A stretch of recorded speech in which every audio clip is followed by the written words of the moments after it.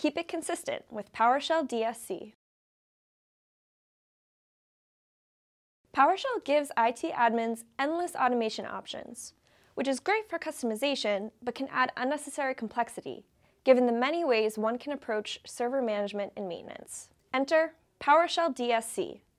Desired state configuration is a PowerShell 4.0 and up feature that helps standardize the automatic configuration of Windows and Linux operating systems. The idea behind DSC is to provide admins with a way to maintain consistent configuration sets across computers or devices. While it's possible to configure a system with just PowerShell cmdlets, DSC simplifies the process. Instead of the user instructing Windows how to configure the system, the user specifies a goal for the configuration, and DSC does all the intricate configuration itself. DSC supports two different methods of operation, push and pull. The push method or mode is simpler. A file is created and then pushed to target nodes on a network. Pull mode requires a server as a central repository.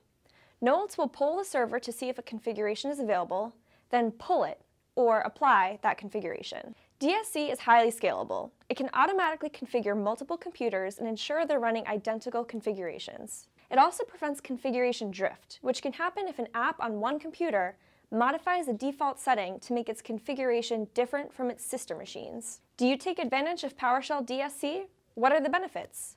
Let us know in the comments and please hit that like button.